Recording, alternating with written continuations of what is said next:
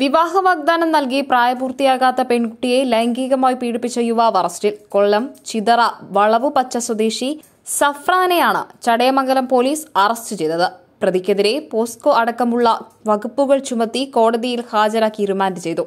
Auto ഡ്രൈവറായ Safran പെൺകുട്ടി പഠിക്കുന്ന സ്കൂളിന്റെ സമീപത്ത് വെച്ച് സൌഹൃദത്തിലാവുകയും പ്രണയം നടിച്ച് ലൈംഗികമായി പീഡിപ്പിക്കുകയുമായിരുന്നുവെന്നാണ് കേസ്. സഫ്രാൻ വിദ്യാർത്ഥിനിയെ വിവിധ സ്ഥലങ്ങളിലെത്തിച്ച് പീഡിപ്പിക്കുകയും ചെയ്തു. മാതാപിതാക്കൾ വീട്ടിലില്ലാത്ത സമയത്ത് വീട്ടിലെത്തിയും പീഡനം തുടർന്നു.